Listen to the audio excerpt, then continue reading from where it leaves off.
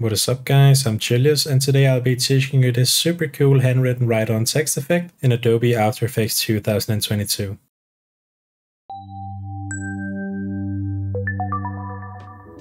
And just before we get started, I thought it was quite funny to mention that I actually made a tutorial back in 2019 for this in Premiere Pro. But for whatever reason, it is actually not that possible in Premiere anymore. So I thought I would create an updated version for After Effects. But anyways, let's get started. So first thing you want to do is create a new composition. Let's make that 1920 by 1080. 30 frames and let's make it 12 seconds long and just hit OK like so.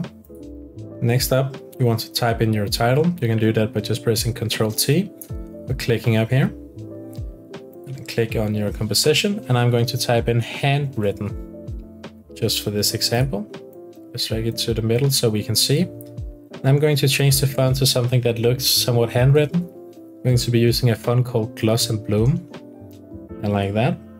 Let's maybe make it so it is large letters. Very nice, I like that. Let's maybe just bring it a little bit closer together, the spacing, something like that and then go into align and just center the text if that is what you want. And now we can get started on the text animation. So you want to go into your effects and presets, generate, and then there's this effect called write on and you just want to apply that to your title layer, like so.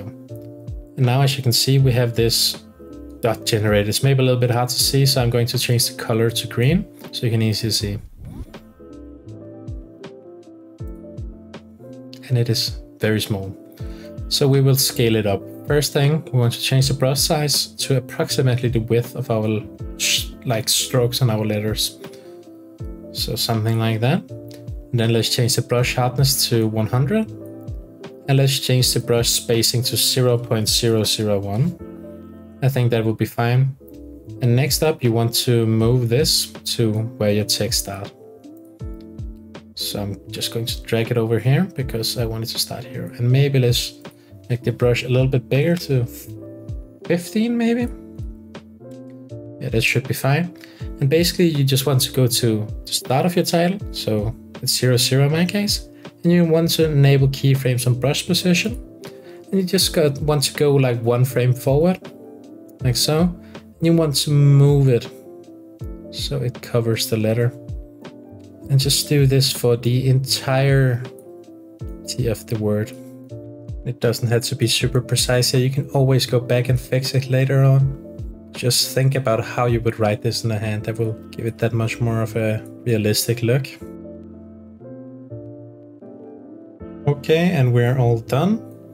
And there are a few spots that I missed, as you can see. And you could go back and fix it like here, maybe I missed some. And also like here. And you could go back and fix this. But I will fix this like in a sloppy way just by changing the stroke width maybe a little bit.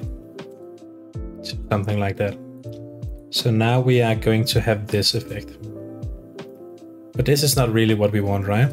We want the text to type out, but as a really quick fix, you go into paint style and you just click reveal original image. Take a look.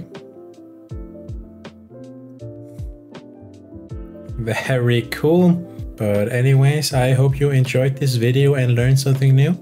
Make sure to like, comment and subscribe. And take care guys. Bye bye.